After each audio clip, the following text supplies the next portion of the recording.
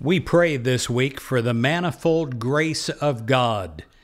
This is based on 1 Peter 4, verse 10.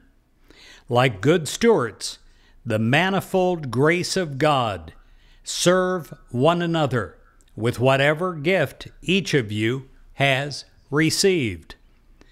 We pray for the manifold grace of God, the many, many gifts that will come our way we realize, God, that we are a beloved child of you, that we are beloved and wanted of you, and we're endowed by you with special gifts.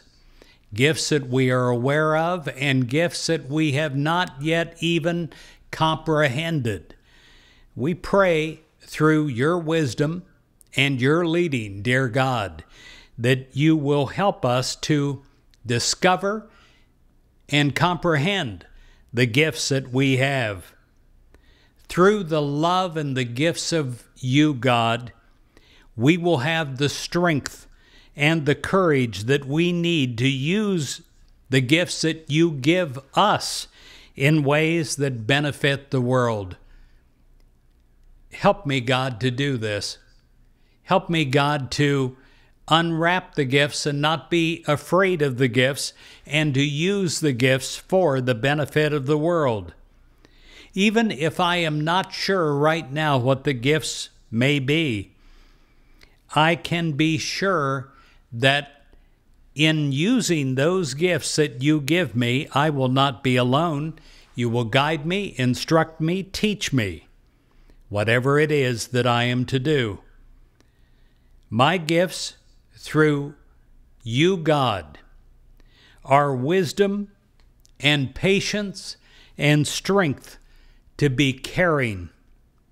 And God, other gifts that I can't even name during this prayer could be the ability to uplift others who are feeling down and to bring perhaps new light to a complex problem Whatever the gifts are, I pray that you will reveal them to my human mind, and that I will know that I am vitally needed everywhere I go.